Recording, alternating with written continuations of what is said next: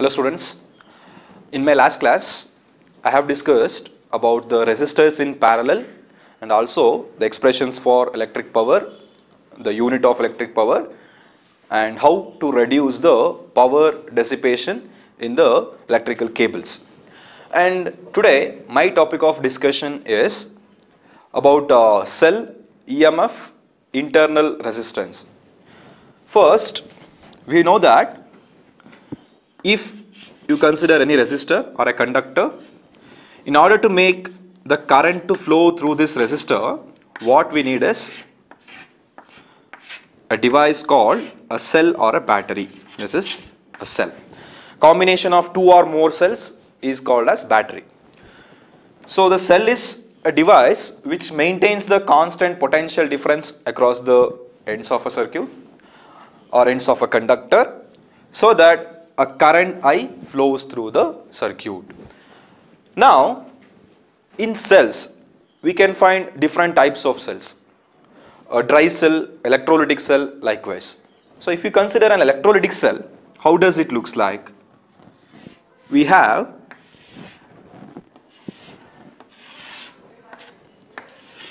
two metal electrodes which are dipped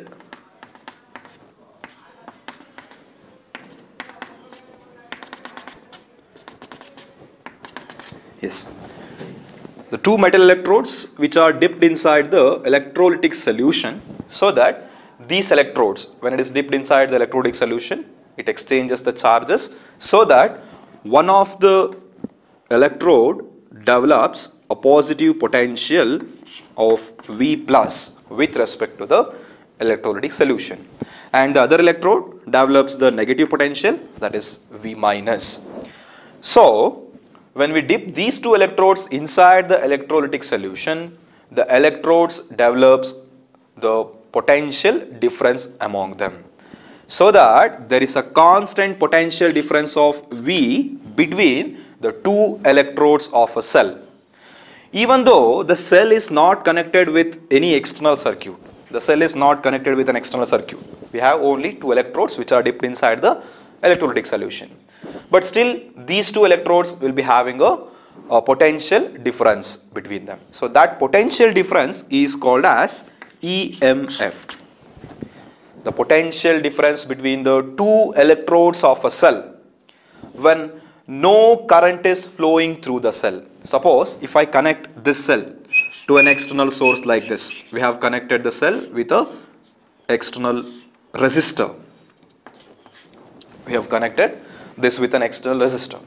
Now what happens? Because of the potential difference, current flows through this external resistor. Current I flows through the external resistor. So even though we have not connected this external resistor, there is a constant potential difference between the two ends of a cell. So that potential difference is called EMF which is written as electromotive force. Electromotive force.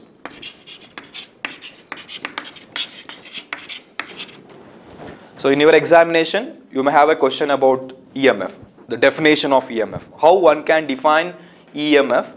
EMF is the potential difference between the two ends of a cell or two electrodes of a cell when no current is flowing through it. So we have not connected this external resistor but still the potential difference is there. So that potential difference is known as EMF. I will write the definition of EMF now.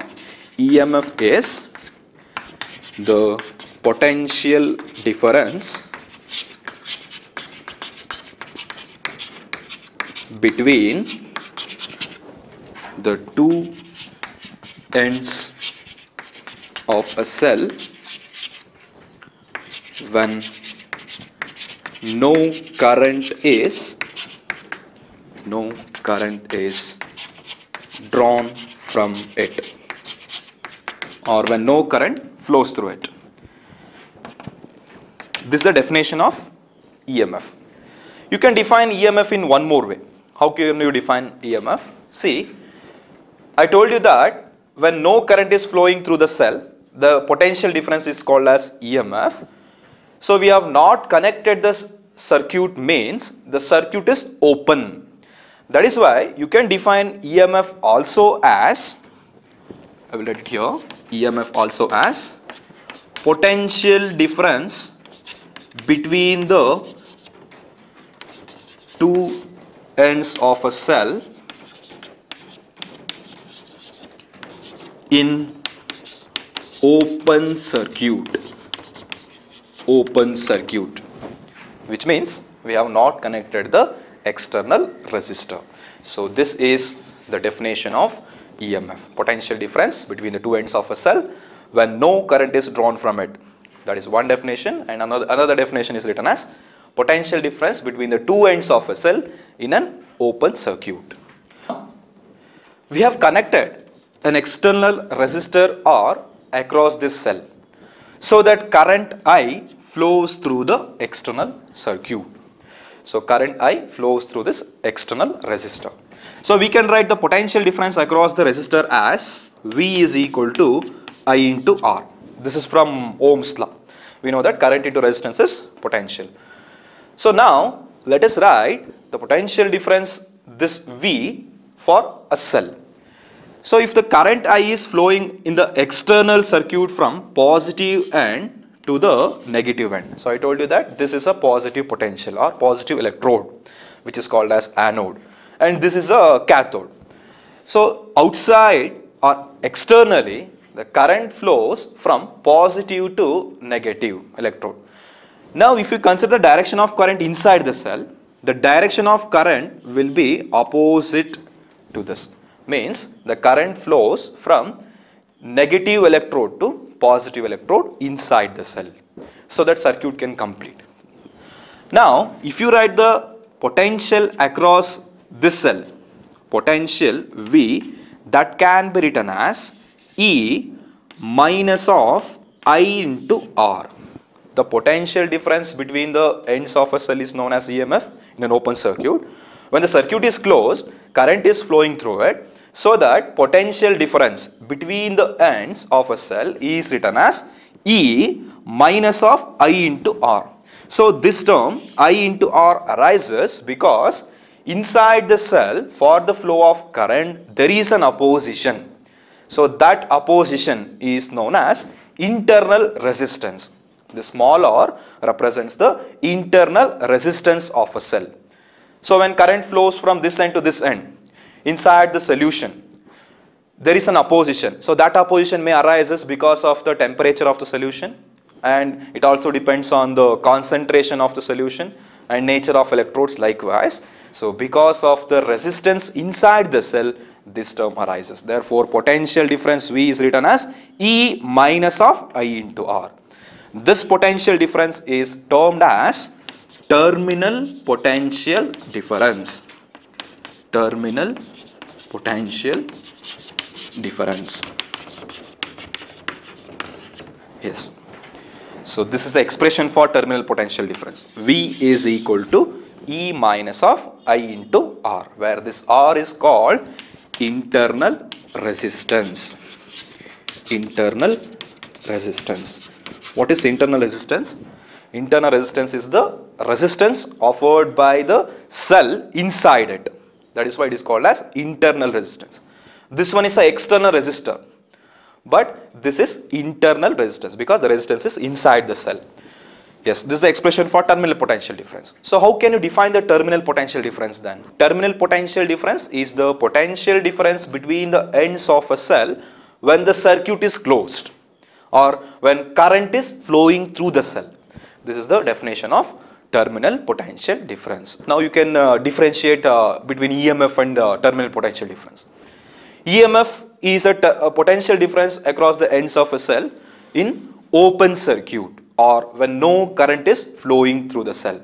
Now the terminal potential difference is defined as it is the potential difference across the ends when current is flowing through it or you can say that in a closed circuit.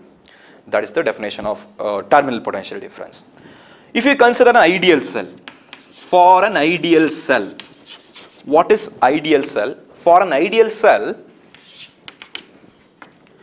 R is equal to 0 which means the internal resistance is equal to 0 ideal cell is a cell where internal resistance is equal to 0 so in that case what happens is if you put that uh, case that uh, r is equal to 0 in this equation e minus of i into r so that e minus this r is 0 therefore i into 0 we get v is equal to e which means for an ideal cell the terminal potential difference is equal to emf of a cell.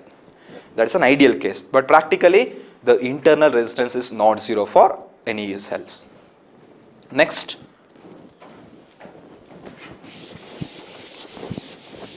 now we should derive the expression for current through the cell. Let us derive the expression for current through the cell. So just now we have written an expression for terminal potential difference. We know that, we know that V is equal to E minus of I into R.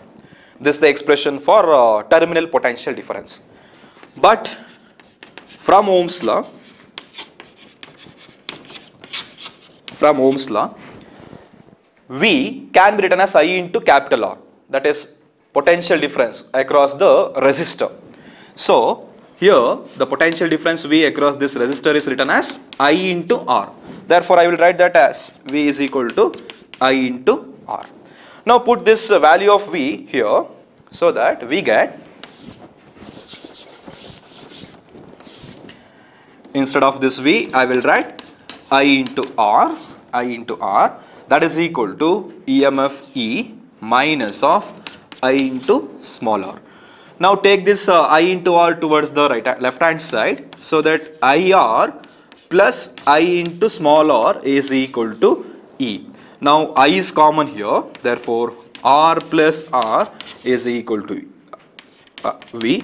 So I is equal to E divided by R plus R. So we get the expression for current flowing through the cell which is given by I is equal to E divided by R plus R where this I is current, E is the EMF of a cell, next R is the external resistance and this small r is internal resistance. So that expression I is equal to E divided by R plus R is the expression for current flowing through the cell. So this will be asked for 2 marks in your examination, write the expression and explain the terms or you may get 3 marks uh, question for derivation. Derive an expression for current through the cell I is equal to E divided by R plus R. Next, we will see on what factors does internal resistance of a cell depends. So I have already explained you that internal resistance is the opposition made by the cell for the flow of current inside it that is uh, resistance inside the cell. On what factors does the internal resistance of a cell depends? Internal resistance depends on the temperature. So it depends on temperature of the solution. If the temperature is high, then the resistance will be also high because you know that uh, resistance is directly proportional to the temperature. So it depends on temperature of the solution. Next, it depends on nature of electrodes and also on the dimensions of the electrode, the size and shape of the electrodes. So it depends on nature of electrodes. Next, concentration of electrolytes.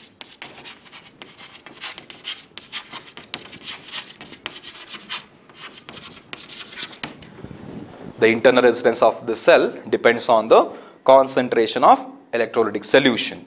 So you can remember these three factors so that you can write in examination. So what, on, uh, what are the factors on which the internal resistance of a cell depends? One is uh, temperature and the other one is nature of electrodes. Next, concentration of electrolytes inside the solution. So these are the factors on which internal resistance depends. Yes, so up to now what we have studied is what is an EMF of a cell. EMF is the potential difference across the ends of a cell in a open circuit. Next, what is terminal potential difference and what is its expression. Terminal potential difference is nothing but the potential difference across the ends of a cell when the current is flowing through it or in a closed circuit. The expression for terminal potential difference is written as V is equal to E minus of I into R where the small r is known as internal resistance of a cell. And we derived an expression for current through the cell as I is equal to E divided by R plus R. And the internal resistance is the resistance of a cell inside it. And these are the factors on which the internal resistance depends. Thank you.